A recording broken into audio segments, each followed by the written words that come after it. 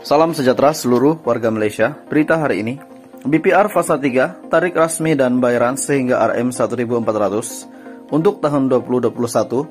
Rakyat telah diperkenalkan menggantikan BSH yaitu BPR digantikan dengan bantuan secara hidup.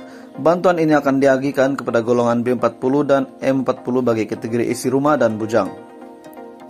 BPR fasa 3 bila tarik masuk untuk fasa 1 dan 2 telah pun dibayar pada tahun ini manakala untuk BPR fasa ketiga yaitu merupakan pembayaran fasa terakhir akan dibayar pada bulan September 2021. Jumlah bayaran BPR fasa 3 sila lihat jadwal yang saya kongsikan di sini di bawah bagi kelayakan Anda. Jadwal di bawah ini adalah bagi mereka yang telah menerima BPR fasa 1. Ini pula adalah untuk permohonan baru BPR 2021 atau yang tak dapat fasa pertama.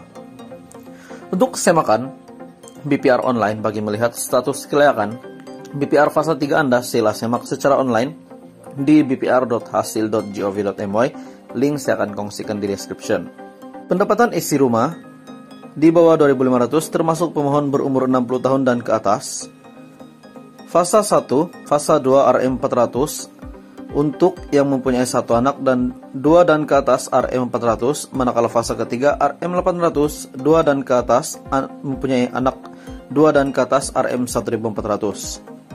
Untuk isi rumah 2500 hingga 4000, fase 2 untuk yang mempunyai satu anak RM 300, dua dan ke atas RM 300, manakala fase ketiga untuk yang mempunyai satu anak RM 500, dua dan ke atas RM 900. Untuk isi rumah RM 4000 hingga 5000, fase kedua RM 100. Untuk pemohon yang berumur 60 tahun dan ke atas yang mempunyai satu anak dan mempunyai dua dan ke atas RM 250. Manakala fase ketiga RM 500 mempunyai satu anak dan yang mempunyai dua anak dan ke atas RM 500 ringgit.